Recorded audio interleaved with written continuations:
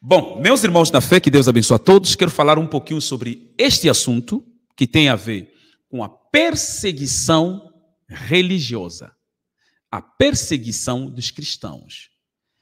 Bom, eu sei que eu mostrei essa métrica aqui alguns dias atrás. 50 países que mais têm história da perseguição. Só que tem um país que acaba de entrar rapidamente. Quando fizeram essa lista, aquele país não estava ainda a fazer ações que está fazendo agora. Ultrapassou todos os limites. Estamos a falar de mais de 10 mil igrejas fechadas em pouco tempo. E muitos cristãos perdendo as vidas em pouco tempo, através de um governo. Um presidente decidiu fazer isso. Inclusive, os cristãos daquele país estão a pedir a oração pelo mundo. Bom, eu quero pedir que me acompanhe até ao final. Não esqueça de deixar like, seu like é importante. Inscreva-se no canal caso não for inscrito e ativa o sininho de notificações para receber os nossos próximos vídeos, tá? Muito obrigado a todos, que Deus abençoe.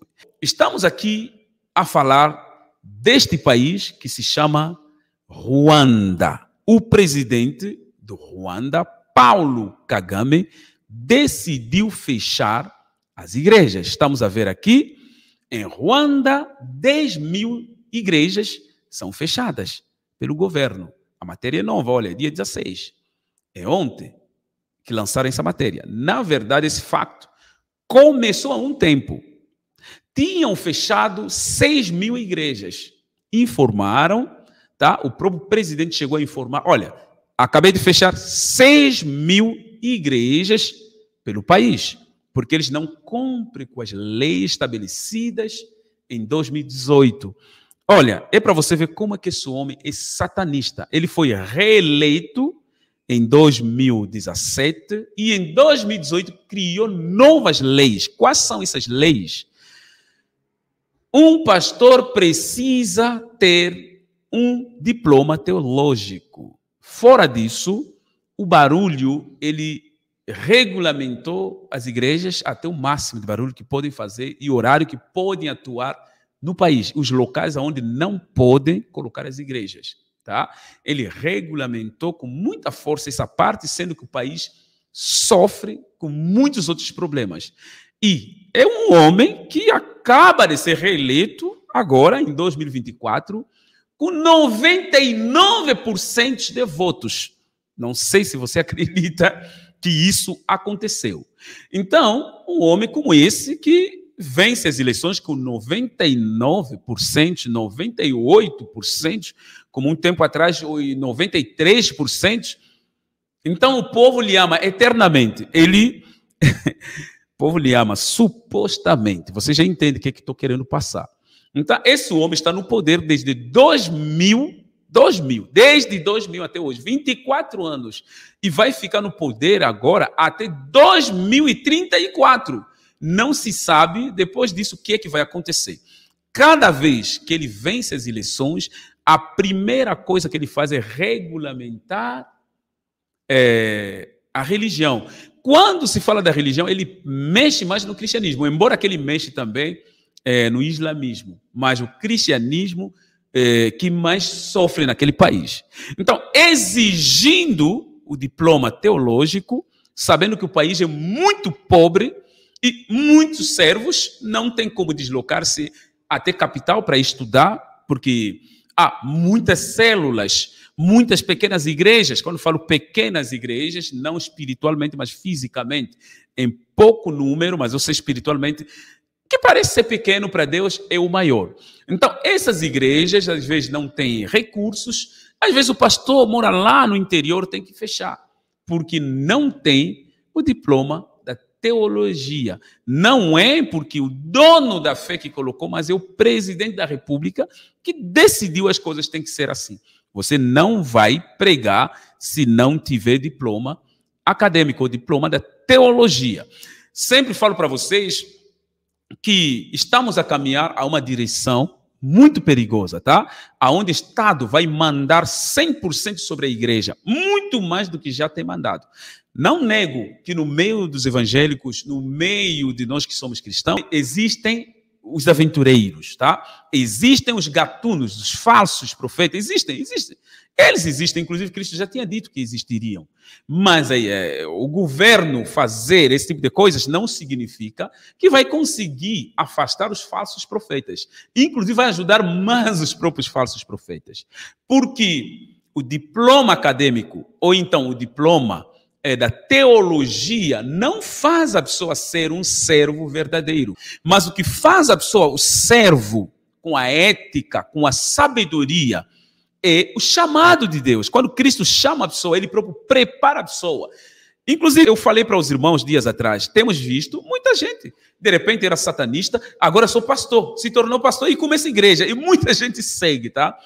Como hoje todos só querem seguir através de Deus, não importa é algo satânico, vocês não querem saber. Então, os próprios satanistas entenderam, eles davam feitiço para aqueles que não têm chamado que querem servir Deus, mas esses satanistas agora estão a abrir igrejas eles mesmos, tá?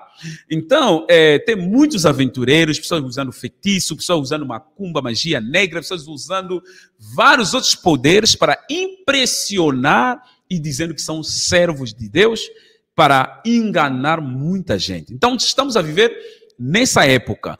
A perseguição religiosa que está acontecendo pelo mundo, aqui nós vimos a lista de mais ou menos 50 países aonde a perseguição está muito forte nesse 2024. Ruanda não faz parte, não está nessa lista, só que o Ruanda, neste momento, surgiu com força, tá? É um país que entrou com a brutalidade. Imagina fechar mais de 10 mil congregações. E há relatos da tortura, há relatos dos cristãos desaparecendo, há relatos tristes, tá? E muitos cristãos daquele país estão mandando mensagens, estão escrevendo nas redes sociais para que possamos orar por eles. Irmãos, é inacreditável, isso são sinais, realmente estamos a caminhar no fim. Saiba que o governo, nos últimos tempos, vai trabalhar dessa forma aí. Não é só o governo ruandês, será todos os governos, tá? Todos os governos de direita e da esquerda trabalharão daquela forma. Haverá um momento que esse tempo vai chegar, você vai cair na real, você vai acordar. Você vai dizer: Oh, eu pensei que o pastor Belício estava brincando, estava mentindo.